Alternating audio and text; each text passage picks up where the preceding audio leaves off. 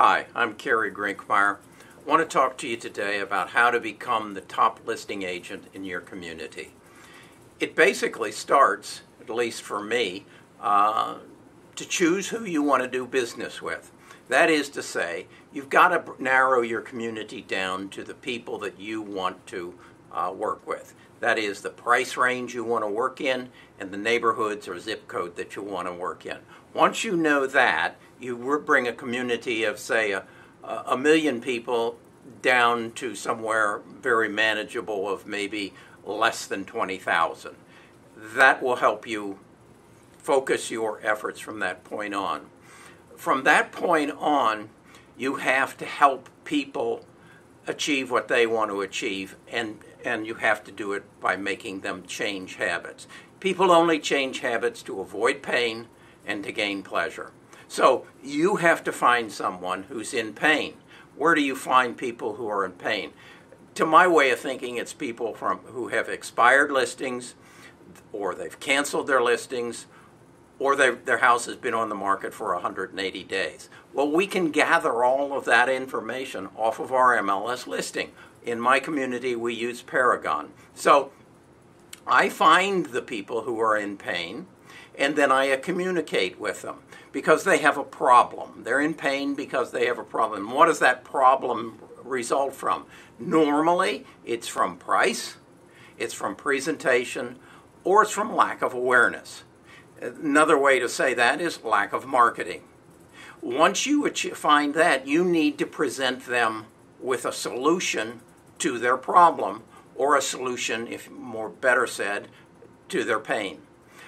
The solution is going to come in a number of forms. One is going to be a price change, possibly an updating in the property, some marketing, and then approach them not as a listing agent, but instead as a salesman. You need, if you're selling a house, it's probably worth more than $250,000. They need a salesman. They need someone to sell it. So you you need to give them a value proposition such that you are their salesman. What might that look like? My value proposition goes something like this. Are you looking for an agent who will do more than put a sign in your front yard and create an MLS listing and push it out to the websites? Are you looking for an agent who will market your home through conventional media as well as social media and get your home built an awareness within the community? And then are you looking for an agent who will show up for every one of your showings and sell your unique home to the unique buyers who come through the door? That's my value proposition. Does that make me different than other agents in the community? You bet it does. There are only 5% of the real estate agents in the United States who actually show up for their showings. I think this is criminal.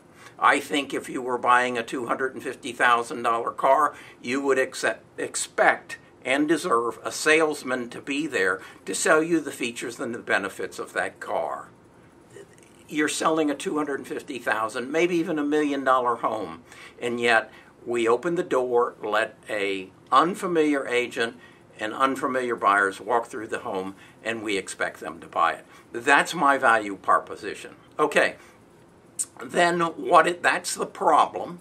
That's my solution. And how do then how do you convey this to these people that we've identified you want to do business with.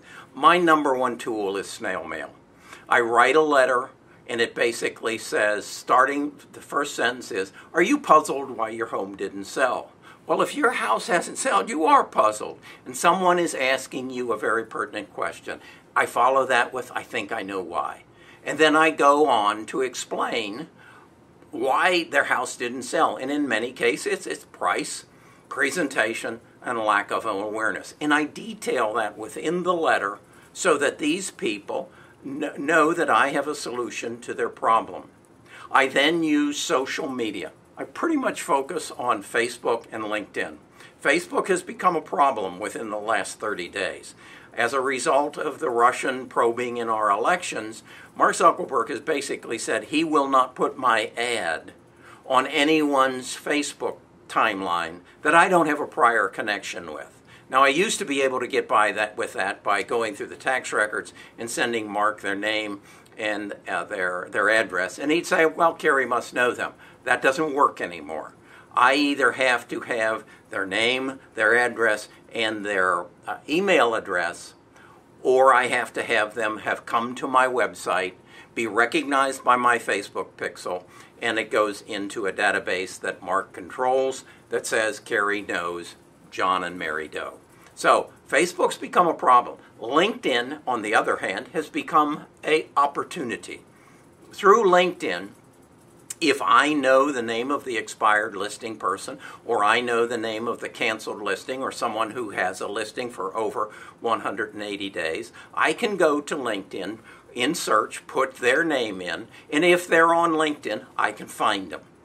I then go and I ask to connect with them it gives me an opportunity to either send them an invitation or send them a message. I send them a message. I'm only allowed to use 150 characters, but basically I say, I'm a real estate agent. In my case, I specialize in luxury homes. I'd like to be your source for current and factual information on the Birmingham real estate market. Would you like to connect with me?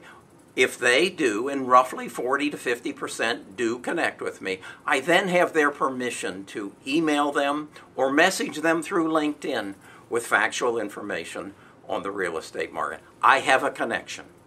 I can then advertise to them through Facebook as well. The other thing that I do that sets me apart is I also, through LinkedIn, have connected with local media. That is, the reporters, the producers of TV stations, uh, magazine reporters. These people's job is to gather good content and present it to their readers or their viewers. You're in an industry that is has a lot of interest right now. You can provide them with information which then they will reward you with helping you promote your homes. I have a, another video that I have done that is entitled, I believe, something like How to Work with Your Local Media to Promote Your Business. Take a look at that. That is my way that I have. I've been in the business for, for two years. The first year was a learning year. The second year, I have gotten, I'm up to about, I have about eight listings for uh, $12 million. I'm going after the luxury market. I am one of the top listing agents in the community. I think if you'll follow what I'm suggesting, you can be one of the top listing agents in your community. But again, follow the steps that I've shared with you and check out my other videos. Subscribe to my channel. I'll be putting out a video on a regular basis to help you grow your real estate business. Thank you.